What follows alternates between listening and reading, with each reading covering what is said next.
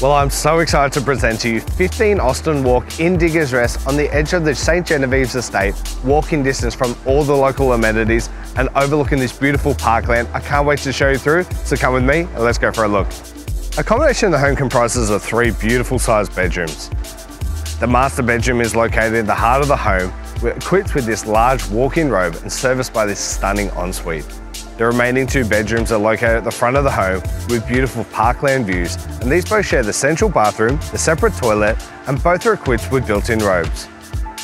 In the heart of the home is the kitchen, meals and living zone. All open plan concept, perfect for entertaining and has abundance of large windows that will allow the morning sun to come in.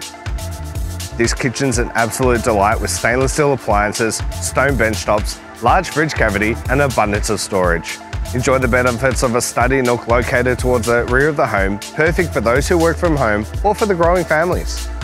Car accommodation offers a double car garage on remote with internal access and extra storage at the rear. This location is second to none with parklands in front of the home. If you stroll up the street, you have the St. Genevieve parklands and walking tracks, and only a short stroll further to the medical centre, Diggers Rest Primary School, and all of the local amenities. For those who commute by car, you have two exits onto the Calder Freeway and the Metro train line's only a brisk walk away. Well, that's it for the video. As you can see, the house is stunning, the location's quiet, and you have all the amenities at your fingertips. So don't be the one who misses out. Pick up the phone, give me a call, arrange a private inspection, or see you at the scheduled open.